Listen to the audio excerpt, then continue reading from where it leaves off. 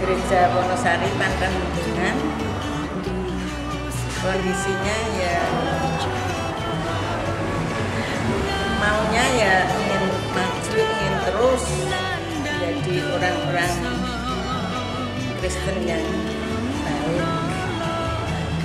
Tetapi ya hanya sekuatnya daripada keuangan orang-orangnya dari petani petani yang kalau musim kemarau seperti ini ya boleh dikatakan ya kering ya.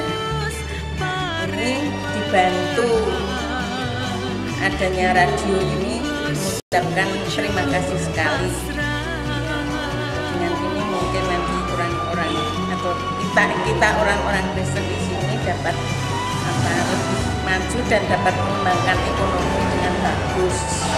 atas nama majelis Pantan Hubungan aturkan panggun dari sedaya bantuan ati radio mugi mangke anggere sami eh, damel kelompok pendengar radio si- siaran radio rohani eh, lancar lumampah sae lan taksih nyuwun dukungan bimbingan saking Pak Wawan.